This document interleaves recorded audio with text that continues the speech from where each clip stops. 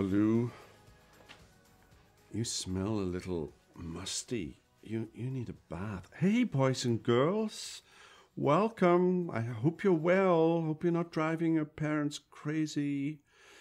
Now, this morning, uh, we have another one of these courage challenge verses, and it's Philippians 4 uh, and verse 6. Do not be anxious about anything, but in everything by prayer and supplication with thanksgiving, let your requests be made known to God. And um, do you ever feel anxious? I don't think bears are ever anxious.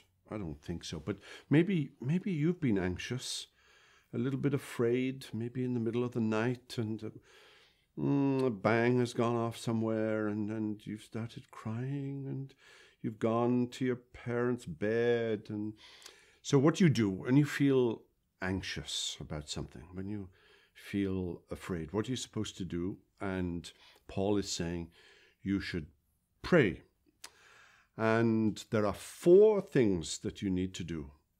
And it spells out the word acts, A C T S, like, like the book in the Bible.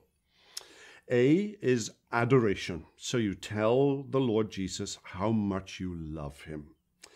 C is confession. You, you tell the Lord Jesus that, that you're a sinner and that you're sorry and that you're asking for forgiveness.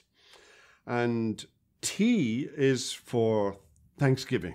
So you tell Jesus, thank you for all that he is and all that he has done for you. And S, well, this is a big word, Baloo supplication. Do you know what supplication means? Supplicate. To supplicate means to ask. So, what is it that you want Jesus to do for you? And you ask Him adoration, confession, thanksgiving, supplication. So, that's our courage challenge for this Sunday.